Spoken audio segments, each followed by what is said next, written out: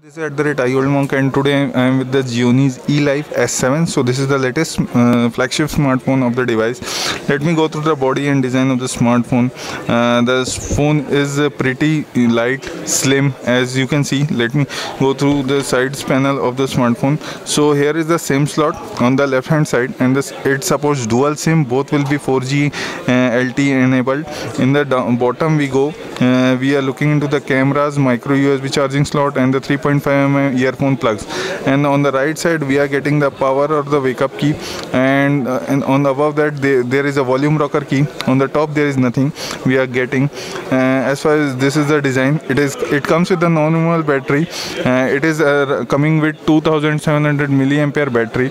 And other than that let me go through the uh, screen size. It comes with the 5.1 inch uh, sorry 5.1 inch display it has super amoled uh, screen so you can see the pixels very vibrant and colorful. Other than that it comes with the gorilla protection from front and the back. So this is one of the things you definitely need for the protection of your uh, costlier smartphones. Other than this it comes with a 1.7 gigahertz octa-core processor. This is a 64 bit uh, uh, architecture based on smartphone.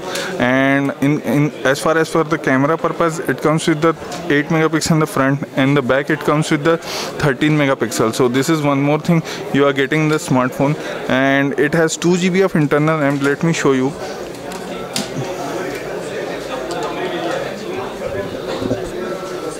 so it has 16 GB of internal storage no expandable storage uh, and it has 2 GB of RAM.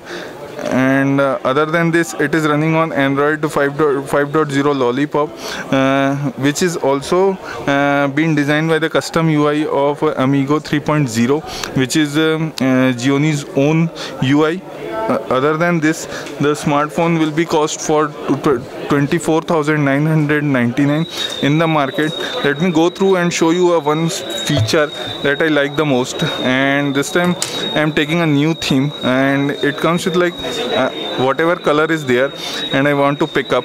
And just I picked up and